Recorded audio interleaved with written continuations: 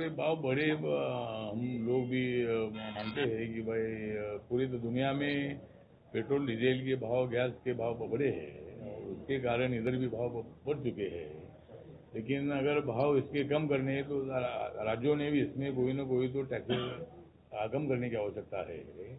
तो पूरा केंद्र पर छोड़ना तो ठीक नहीं है।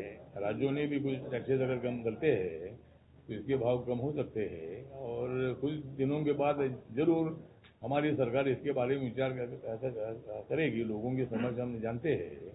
लोगों को तकलीफ़ हो रही है भी हमने जानते हैं। मोदी जी पूरा से जानते हैं। और इसीलिए ज़रूर भारत सरकार ये भाव कम करने के बारे में विचार करेगी।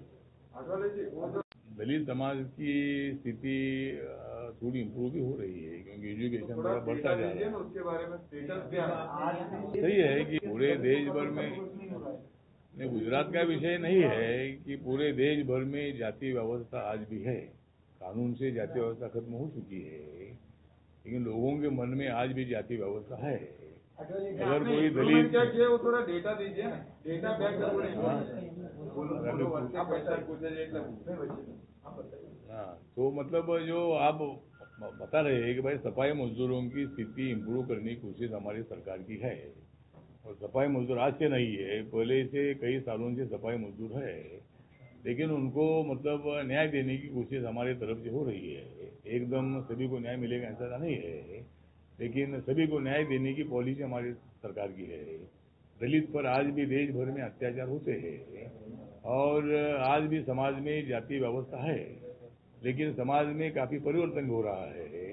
जिस तरह पूरे देश भर में एक लाख से ज़्यादा इंटरकास्ट मैरिज होते हैं, उसमें कुछ 99.99 परसेंट अत्याचार होते नहीं है। लेकिन कुछ जगह पर अत्याचार होते हैं। इंटरकास्ट मैरिज होने से मर्डर होता है, हमला होता है। लेकिन बहुत सारे माँ बाप एक्सेप्ट भी करते हैं। तो पहले तो अपन एक साथ नहीं बैठ सकते थे। बाबा साहब अंबेडकर जी जब सातारा स्कूल में पढ़ाई करने के लिए जाते थे, वो स्कूल के बाहर बैठते थे, उनको अंदर आने का परमिशन नहीं था। लेकिन आज ऐसा नहीं है मतलब समाज में परिवर्तन हो रहा है। लेकिन उसके बावजूद भी कुछ लोगों के मन में आज भी कास्टिज्म है। दलित अगर अच्छे कपड़े पहनता है तो उनको अच्छा लगता नहीं।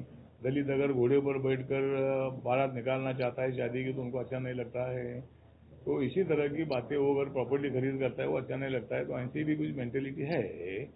लेकिन इसको सुधारने की कोशिश हमारे सरकार की है और ये ज़िम्मेदारी खाली सरकार की नहीं है। समाज की अलग अलग संस्थाएँ है पत्रकार है संस्थाएँ है पॉलिटिकल पार्टी के लोग हैं। सबने इसमें ध्यान देने की आवश्यकता है। और ज़रूर हमारी कोशिश है।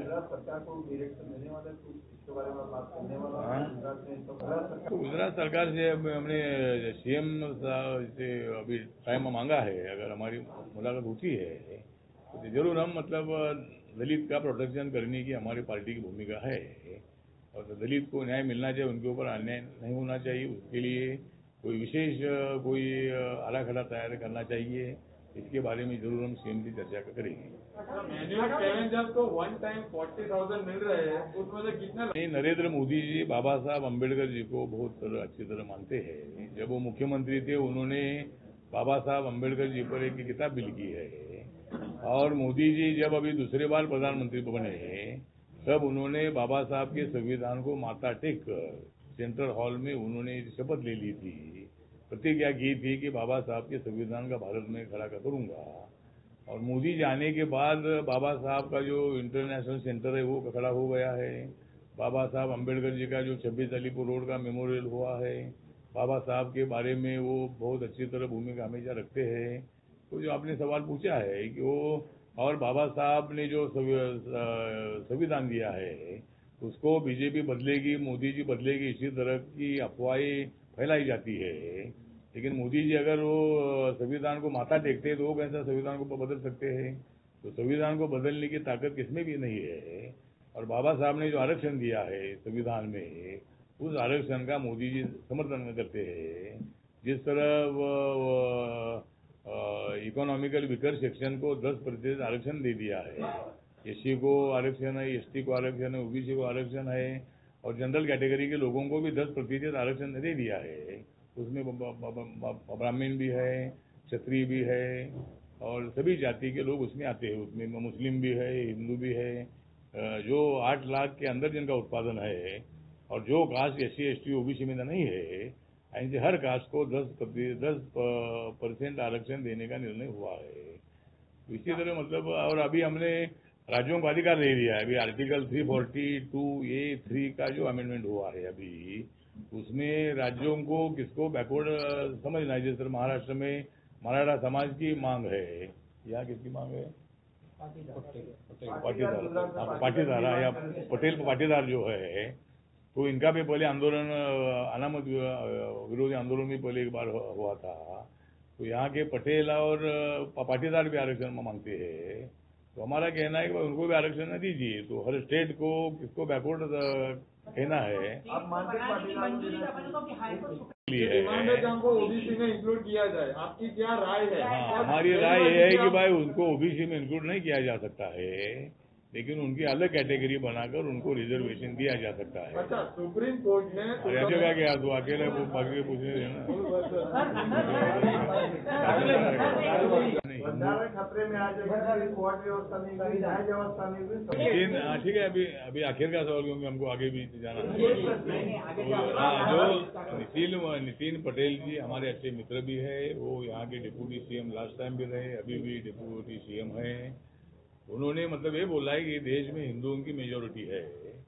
और देश के बाबा साहब के संविधान की सुरक्षा हिंदू सभी कर रहे हैं लेकिन हिंदू लोग ज़्यादा सुरक्षा कर रहे हैं। तो अगर हिंदुओं की संख्या कम हो जाएगी तो संविधान धोखे में आ जाएगा। ऐसा उनका जो कहना है तो मुझे लगता है कि कोई हिंदू की संख्या कम होने का विषय नहीं है। हिंदू हिंदू ही है, जो मुसलमान मुसलमान ही है। ना कोई हिंदू मुसलमान बन रहा है एकादा कोई बनता है। ना हिंदू एकादा मुसलमान बनता है, मुसलमान एकादा हिंदू बनता होगा। तो संविधान के मुताबिक किसको क्या करना है वो अधिकार है। लेकिन फोर्सफुली कोई भी धर्मांतरण नहीं कर सकता है। तो पटेल जी का जो कहना है कि भाई यहाँ के हिंदू ही बाबा साहब के संविधान की सुरक्षा कर रहे हैं तो अगर कम हो जाएँगे तो संविधान धोखे में आ सकता है, ऐसा उनका जो कहना है, वो तो सही है। लेकिन मेरा मानना है कि हिंदू की संख्या कम होने का विषय नहीं है। हिंदू हिंदू जितने उतने रहेंगे, मुसलमान भी जितने उतने रहेगा, अभी इतने सालों में उनका पॉपुलेशन जितना है, उतना ही है, एकदम बढ़ गया, ऐसा तो नहीं है। तो इसीलिए अभी समान नागरिक कायदे के बारे में भी चर्चा हो रही है कि अगर पॉपुलेशन कम करना है, देश का विकास करना है तो पॉपुलेशन कम करने की आवश्यकता है। चाहे वो हिंदू की पॉपुलेशन हो या मुसलमानों की पॉपुलेशन हो, हिंदू और इसीलिए one man one family one family one child पद्ध ऐसा अगर हो जाता है तो अपनी पॉपुलेशन कम हो सकती है। अभी तो हम जो हमारे दो है लेकिन हम दो, हमारा एक तो ऐसा होना चाहिए। तो जिस तरह मतलब हम दो, हमारा एक, ऐसा होना चाहिए। तो ऐसा भी एक आधा कानून, मेरी पार्टी की भूमिका है कि पॉपुलेशन कम करने के लिए हम दो, हमारा एक ऐसा कानून बनना चाहिए। ये सब भी लाने वाले सरकार? नहीं बिल का नहीं अभी मेरी पार्टी की भूमिका है। नहीं मेरी पार्टी का मत मैंने व्यक्त किया है अभी सरकार उसके बारे में विचार कर करेगी लेकिन हाँ सरकार में बताया कि पॉपुलेशन पॉपुलेशन कम करने के लिए ऐसा होना चाहिए। ये मत मैं माननीय प्रधानमंत्री जी के कान पर डालूँगा और हम कोशिश करेंगे। महाराष्ट्र सरकार के बारे में आप क्या मानते हो? महाराष्ट्र सरकार के बारे में हम ये मानते हैं कि भाई ये सरकार कितने दिन चलेगी मालूम नहीं है। जब तक हम चलाएँगे तब तक ये चलेगी। और अभी तो मतलब उद्धव ठाकरे जी की सरकार चल रही है।